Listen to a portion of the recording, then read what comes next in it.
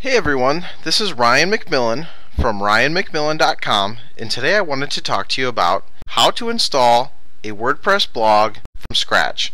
Basically I want to take you from start to finish on how to install your very own WordPress blog. So we're going to take you through um, getting a hosting account, finding a domain name, downloading the WordPress software, uploading the WordPress software, and finally configuring it and uh, setting up uh, your blog.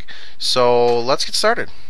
Uh, the first thing we need to do is um, you're going to need a hosting account if you want to have your own WordPress blog. And I'm going to show you um, the uh, site that I recommend. Now the site that I recommend for hosting your own blog is called HostGator and they're at hostgator.com here you can sign up for a hosting package. And what you want to do is you want to click on web hosting and they have several different plans. You can see Hatchling, $4.95 a month, Baby, which is $7.95 a month, and Swamp, which is $12.95 a month. Now, basically, the difference between these three plans is the uh, amount of disk space they're going to give you, the bandwidth, and the domains allowed. Now, if you're only going to have one site and it's just going to be this blog that you're going to set up, this this Hatchling plan is probably going to be just fine for you. However, if you're thinking about having two or more domains, you're going to want the baby plan because because of this option right here. They give you unlimited domains, so that means you can have one, two, or a hundred sites with this plan, all different domain names, and it's only going to cost you $7.95 a month. So that's up to you. I just wanted to show you HostGator. That's where I have uh, my sites hosted. One more thing I wanted to show you before you sign up for HostGator, though. If you go to a, another website called HostGator Codes, this is one of mine um, you'll notice that I've posted um, some coupon codes that will save you some money. So basically, this this code right now will save you 20% off your order. Or if you wanted to get your first month of hosting for just a penny, these are some coupon codes you can put into uh, to HostGator and redeem them here. And it will save you some money. So I just wanted to uh, show you HostGatorCodes.com as well before you sign up for HostGator, so you can save save a few bucks. The second thing you're going to need is a domain name. And where I get my domain names is at a place called name namecheap.com. If I could spell it right, namecheap.com. And here it comes.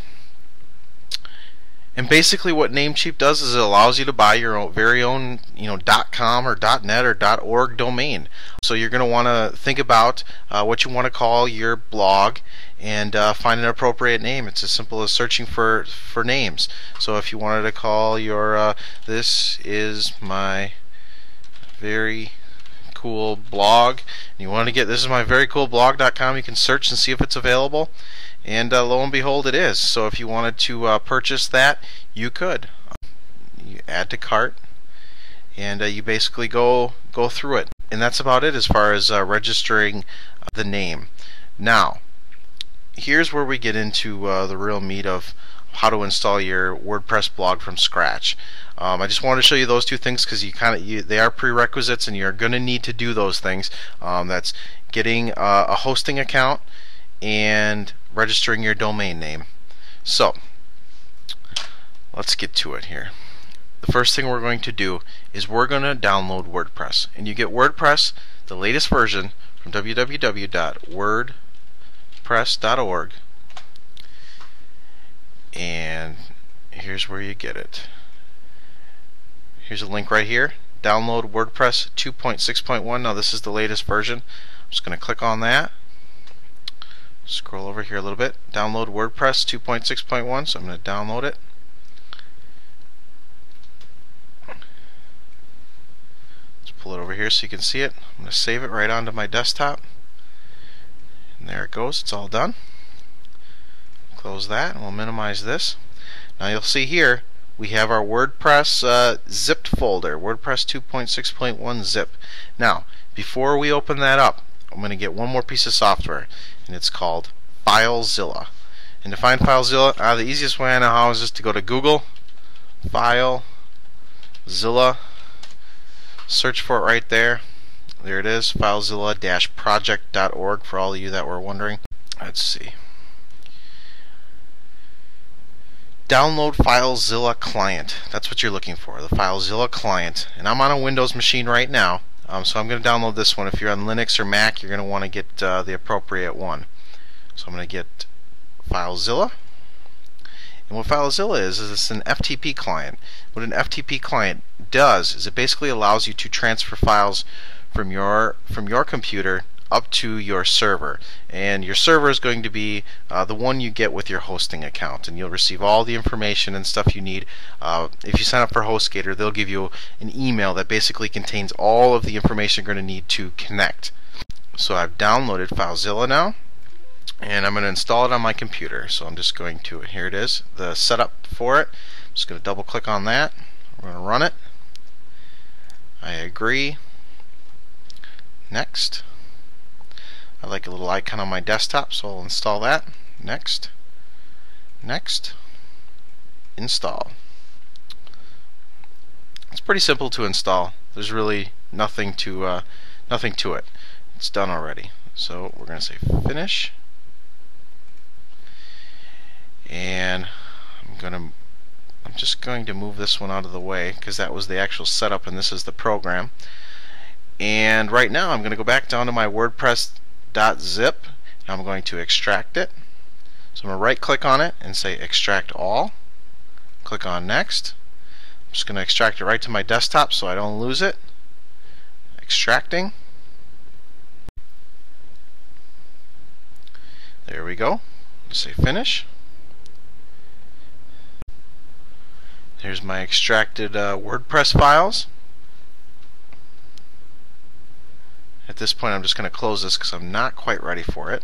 To create a database that WordPress can use. Now, we are going to do that by going to your web hosting control panel. Um, a lot of them call it cPanel. That's what HostGator calls it.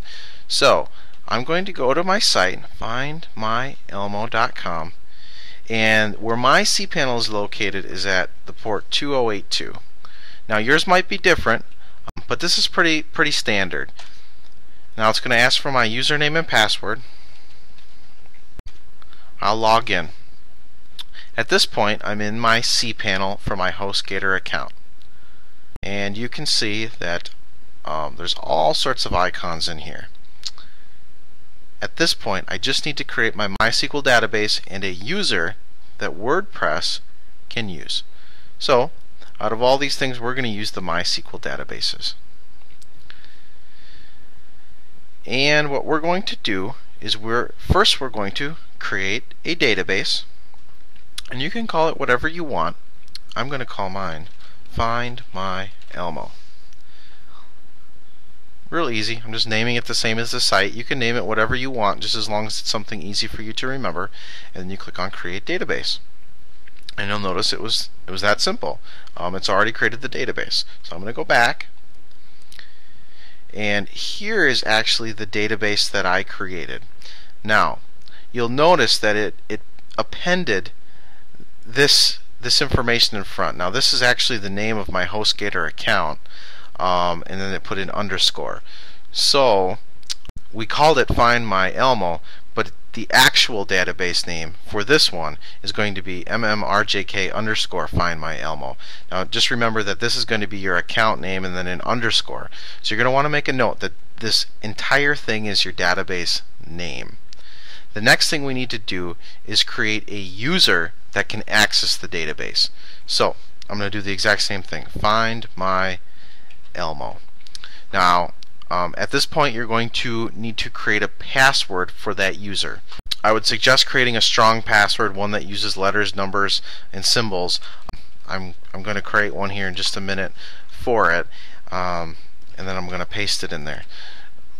So you can see I'm just creating some random, random user password. Um, just something that, that it's hard to guess, um, and people would not uh, would not know. So we're going to say create user. And then it says it created it. I'm going to make a note of this.